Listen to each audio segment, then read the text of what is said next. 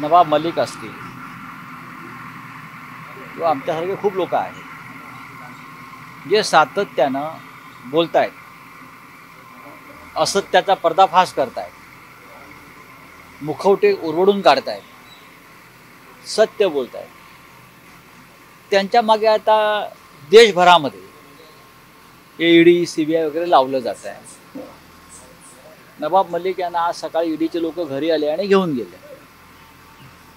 ठीक आहे चौकशी होईल आम्ही वाट बघतो आहे नक्कीच ते संध्याकाळी घरी येतील. आत्ताच माझं सगळ्यांशी वरिष्ठ स्तरावरती बोलणं झालं.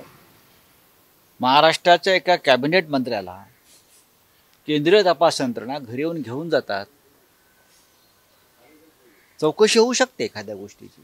म्हणजे चौकशी पण कशी वीस वीस वर्षांनी करतायत ते.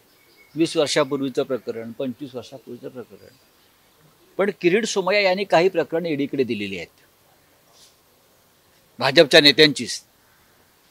आज जे भाजपमध्ये मंत्री आहेत पदावर आहेत केंद्रीय मंत्री आहेत त्यांची अनेक प्रकरणं भ्रष्टाचाराविरुद्ध लढणारे महात्मा त्यांना हा शब्द चांगला आहे कारण त्यांना मी काय बोललो तरी वाटतं मी शिवी दिली हे जे महात्मा आहेत त्या महात्म्याने ईडीकडे अनेकांची प्रकरणं दिली आहेत.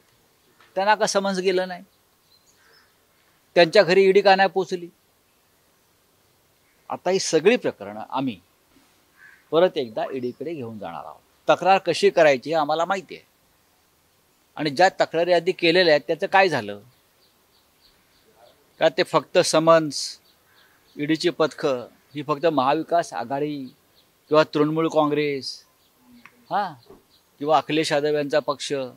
लालू यादव यांचा पक्ष यांच्यापुरतेच मर्यादित आहे की त्यांच्यासाठीच ह्या संपूर्ण केंद्रीय तपास यंत्रणांची रचना आणि नियुक्ती झालेली आहे.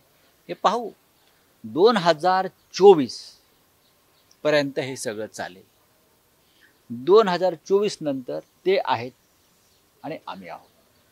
बरं का? याच्यात तुम्ही काही अर्थ काढा. जसं जुनं प्रकरण सांगितलं दाऊदचंही नाव येतं. मला माहीत नाही. ही मला ही नावं तुम्ही घेता मला माहीत नाही. तर तुम्ही प्रकरण घेतलं मात्र ईडी त्याचा तपास करत मी आत्ताच बोललो ना. मी आत्ता बोललो.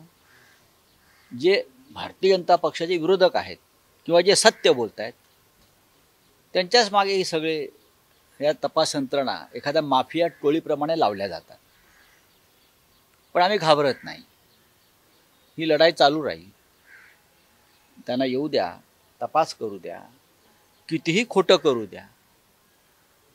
बरं का? किती खोटं करू द्या बनावट करू द्या. शेवटी सत्याचा विजय या देशामध्ये होत असतो. आणि प्रत्येक गोष्टीवरती आमचं लक्ष आहे. आत्ताच माझं मुख्यमंत्र्यांशी बोलणं झालं. अनेक विषयांवर चर्चा झाली. सोपं नाही आहे दोन हजार चोवीस नंतर ज्या गोष्टी घडणार आहेत त्याची तयारी या तपास यंत्रणांनी ठेवा.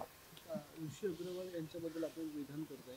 काय काय आपण काय सूचन करावं जो शिपयार्ड कंपनी का तेवीस हजार करोड का घोटाला आया है? तेवीस हजार कोटीचा शिपयार्ड कंपनीतला बँक घोटाळा. इतके इतके वर्ष त्याला कोण संरक्षण देत होतं? आणि आताही ऋषी अग्रवाल यांच्या पाठीशी पहाडाप्रमाणे कोण उभं आहे त्यांना वाचवण्यासाठी? कुठली तरी एक शक्ती आहे ना या सरकारमधली? कोणीतरी आहे ना? ती कोण आहे? हे मी सांगेन. कुठले अधिकारी आहेत कोणत्या तपास यंत्रणा आहेत काय आहे हे सगळं समोर येणार. आणि हे सांगितल्याबद्दल परिणामांची पर्वा किंवा काय होईल याची पर्वा मी करत नाही. देशाच्या हिताची जी गोष्ट आहे ते आम्ही बोलत राहू शेवटी राष्ट्रासाठी हौतात्म्य पत्करण्याची जबाबदारी सगळ्यांची आहे. प्रत्येकाला देशासाठी कुर्बान व्हावं लागेल स्वातंत्र्यासाठी लोकशाहीसाठी.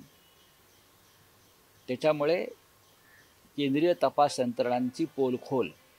त्या कशा प्रकारे भ्रष्ट आणि वाळवीनं पोखरलेल्या आहेत कशा प्रकारे त्या सत्ताधाऱ्यांच्या दबावाखाली विरोधकांना चिरडण्याचा